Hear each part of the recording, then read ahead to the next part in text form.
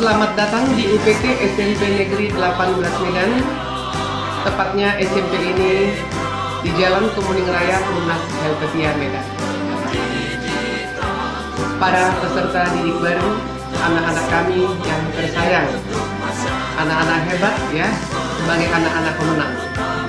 Anda berjumlah 352 telah diterima di sekolah ini menjadi peserta didik. Anak-anakku, mengingat menimbang situasi sekarang ini, kita masih dilanda COVID-19, maka sesuai instruksi pemerintah, instruksi Menteri Pendidikan dan Kebudayaan, bahwa kita belum bisa masuk pembelajaran tatap muka.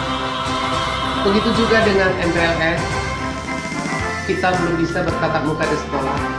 Maka kami pihak pengelola sekolah berupaya untuk mengenalkan situasi sekolah lewat daring ini.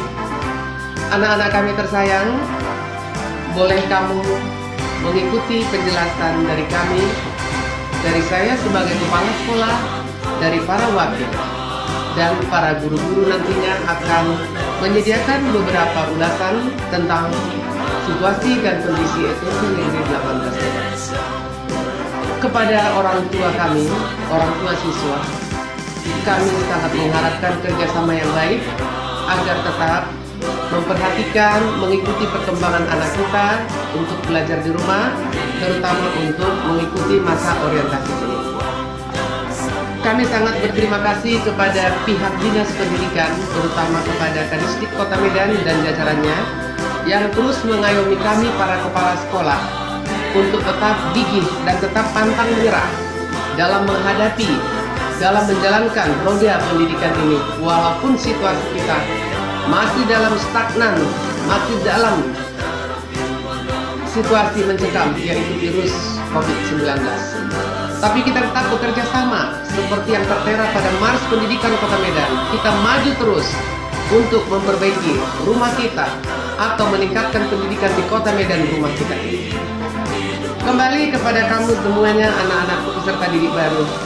Kami sangat bangga bahwa kalian benar-benar sangat semangat untuk masuk di UPT Negeri SMP 18 Medan. Semoga lah kalian menjadi anak-anak yang terpuji.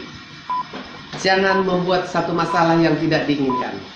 Anak-anakku semuanya dan kepada para orang tua, untuk lebih jelasnya mengisi acara orientasi ini, silakan nanti menyaksikan beberapa penjelasan dari para wakil, baik wakil kurikulum, wakil kesiswaan, humas, dan sarana prasarana. Karena kita membagikan sesuai dengan tupoksi, tugas pokok dan fungsi.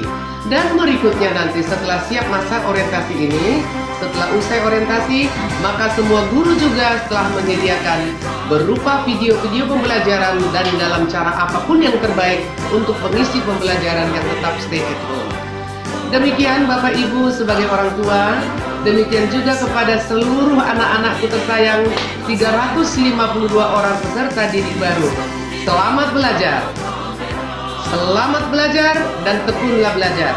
Moto kita, jargon kita di UPT SMP 18 Medan, jika kami pihak sekolah menyebutkan SMP 18 Medan, maka anak-anak kami menjawab dengan Derma, Derma, Derma.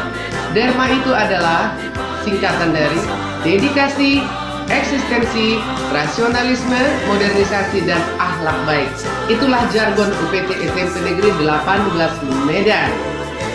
Demikian yang dapat disampaikan sebagai pembukaan di masa orientasi ini atau MPLS ini. Semoga berkenan jika ada pelayanan kami atau komunikasi kami yang kurang menyenangkan mohon maaf tak ada gading yang tak retak karena kita masih manusia biasa tetaplah kita bekerja sama dan kami akan tetap mengerjakan yang terbaik untuk UPT SMP 18 Medan dan seluruh personilnya serta seluruh warga sekolahnya termasuk yang paling istimewa pelayanan terhadap murid-murid kami. Demikian terima kasih selamat pagi